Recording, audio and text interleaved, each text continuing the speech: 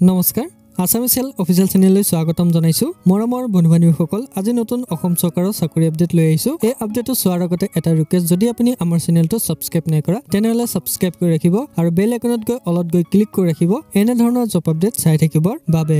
মৰমৰ বন্ধু বান্ধৱীসকল অসম চৰকাৰৰ তৰফৰ পৰা নতুনকৈ ড্ৰাইভাৰৰ পোষ্ট কেইটামান মুকলি পাইছে। এই ড্ৰাইভাৰৰ পোষ্ট কেইটা আবেদন কৰিব হ'লে মিনিমাম শিক্ষাগত অৰ্হতা এইট পাছলৈ আপুনি আবেদন কৰিব পাৰিব। আৰু ইয়াত কোনো ধৰণৰ লিখিত পৰীক্ষা নাথাকে। তো বন্ধুসকল যদি আপুনি ড্ৰাইভাৰৰ চাকৰি কৰিব বিচাৰিছে তেনেহ'লে এই ভিডিঅ'টো সম্পূৰ্ণ চাই থাকিব। কাৰণ কি এই ভিডিঅ'টোত সকলোবোৰ ডিটেইলছ দি দিয়া থাকিব। কেনেকৈ এই ড্ৰাইভাৰৰ পোষ্টটো আবেদন কৰিব পাৰিব ইয়াৰ মান্থলি দৰমহাটো কিমানকে পাব আৰু ইয়াৰ এজ লিমিটটো অৰ্থাৎ বয়স কিমান লাগিব এই সকলোবোৰ এই ভিডিঅ'টোৰ যোগে কৈ দিয়া হ'ব। তো আহক ইয়াৰ অফিচিয়েল এডভাৰটাইজমেণ্টখন এবাৰ চাই লওঁ। Eight pass driver government job in Assam two thousand twenty ফ'ৰৰ এইখন ইয়াৰ অফিচিয়েল এডভাৰটাইজমেণ্ট হয়। ইয়াত দেখিব পাৰিছে এই এডভাৰটাইজমেণ্টখন তিনি এক দুহেজাৰ চৌবিছ অৰ্থাৎ তিনি জানুৱাৰী তাৰিখে এই এডভাৰটাইজমেণ্টখন মুকলি পাইছে। ইয়াৰ তলফালে দেখিব পাৰিছে ইয়াৰ পোষ্টৰ নামটো দিয়া আছে। পোষ্টৰ নামটো দেখিব পাৰিছে ড্ৰাইভাৰ। ইয়াত টোটেল এটা পোষ্টে মুকলি কৰা হৈছে আৰু এই পোষ্টটো আনৰিজাৰ্ভ অৰ্থাৎ সকলো কাষ্টৰ কেণ্ডিডেটে এই পোষ্টটো আবেদন কৰিব পাৰিব। ইয়াৰ পিছত ইয়াৰ মাতৃ দৰমহাটো আছে। মাতৃ দৰমহাটো পাৰ মান্থত পোন্ধৰ হাজাৰকে ইয়াৰ মাতৃ দৰমহাটো পাব। ইয়াৰ পিছত ইয়াৰ এডুকেশ্যন কোৱালিফিকেশ্যনটো আছে। মেট্ৰিক পাছ কৰিলে আপুনি এই ড্ৰাইভাৰৰ পোষ্টটো আবেদন কৰিব পাৰিব।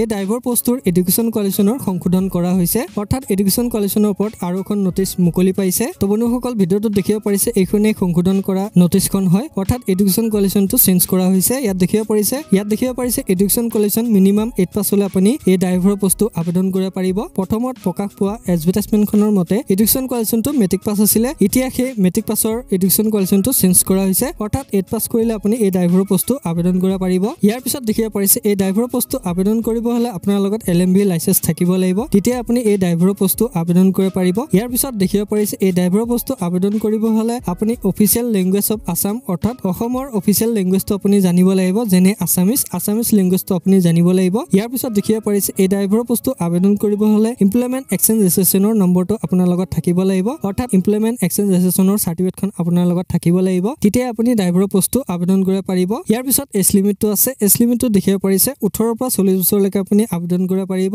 যদি আপুনি S C S T candidate হয় তেনেহ'লে পাঁচ বছৰ অতিৰিক্ত পাব। যদি আপুনি O B C U C candidate হয় তেনেহ'লে তিনি বছৰ অতিৰিক্ত পাব। ইয়াৰ পিছত চিলেকশ্যন প্ৰচেছটো আছে। চিলেকশ্যন প্ৰচেছটোত দুটা ষ্টেপ থাকিব। প্ৰথম ষ্টেজত ড্ৰাইভিং টেষ্ট পঞ্চাছ মাৰ্কৰ দিব লাগিব। অৰ্থাৎ ড্ৰাইভিঙৰ প্ৰেক্টিকেল এক্সাম আপুনি দিব লাগিব ফিফটি মাৰ্কছৰ ইয়াৰ পিছত ইণ্টাৰভিউ আছে অৰ্থাৎ সাক্ষাৎকাৰ আপুনি দিব লাগিব। এই সাক্ষাৎকাৰটো পঞ্চাছ মাৰ্কৰ থাকিব টোটেল হাণ্ড্ৰেড মাৰ্কছৰ থাকিব। ইয়াত কোনো ধৰণৰ লিখিত পৰীক্ষা দিব নালাগে। তো বন্ধুসকলে ড্ৰাইভিং টেষ্টত আপোনাৰ গাড়ীখন চলাব দিয়া হ'ব। তো আপুনি ভালদৰে যদি চলায় ইয়াৰ পিছত আপোনাৰ ইণ্টাৰভিউ সুধিব। অৰ্থাৎ ৰোড ছিগনেল আদি এনেধৰণৰ কুৱেশ্যন আহিব। তো আপুনি যদি ভালদৰে ড্ৰাইভিং টেষ্ট আৰু ইণ্টাৰভিউটো যদি দিয়ে তেনেহ'লে এই চাকৰিটো আপুনি পাই যাব। ইয়াৰ পিছত দেখিব পাৰিছে হাউ টু এপ্লাই তো বন্ধুসকল এই পোষ্টকেইটা কেনেকৈ আবেদন কৰিব পাৰিব? তো বন্ধুসকল এই পোষ্টকেইটা আপুনি অফলাইন যোগে আবেদন কৰিব পাৰিব। অৰ্থাৎ ষ্টেণ্ডাৰ্ড ফৰ্ম ফিল আপ কৰি আপুনি আবেদন কৰিব লাগিব। ইয়াৰ আবেদন কৰা ফৰ্মখন আমাৰ ভিডিঅ'টো ডিছক্ৰিপশ্যনত পাই যাব। তাৰ পৰা ডাউনলোড কৰি ভালদৰে ফৰ্মখন ফিল আপ কৰি লগত ডকুমেণ্টছসমূহ গাঁঠি দি পেলাই আপুনি পোষ্টেল যোগে নহবা নিজে গৈ আবেদন কৰিব পাৰিব। যেতিয়া আপুনি আবেদন কৰিব তাৰ লগত কি কি ডকুমেণ্টছ গাঁঠি দিব লাগিব? ইয়াত দেখিব পাৰিছে এডুকেশ্যন কোৱালিফিকেশ্যনৰ মাৰ্কশ্বিট আৰু চাৰ্টিফিকেট এই সকলোবোৰ আপুনি গাঁঠি দিব লাগিব। ইয়াৰ পিছত এছ প্ৰুফৰ চাৰ্টিফিকেট গাঁঠি দিব লাগিব। ইয়াৰ পিছত কাষ্ট চাৰ্টিফিকেট ইয়াৰ পিছত ভেলিড ড্ৰাইভিং লাইচেঞ্চখন আপুনি গাঁঠি দিব লাগিব। ইয়াৰ পিছত তিনি কপি পাছপোৰ্ট চাইজ ফটো আপুনি গাঁঠি দিব লাগিব। ইয়াৰ পিছত দেখিব পাৰিছে যেতিয়া আপুনি ফৰ্মখন ফিল আপ কৰিব তেতিয়া আপোনাৰ কণ্টেক্ট নম্বৰটো অৰ্থাৎ মোবাইল নম্বৰটো দিবলৈ নাপাৰিব এইটো খুবেই ইম্পৰ্টেণ্ট হয়। ইয়াৰ পিছত দেখিব পাৰিছে ইয়াৰ এড্ৰেছটো ইয়াত দেখিব পাৰিছে দ্য ডিষ্ট্ৰিক্ট এণ্ড ছেশ্যন জজ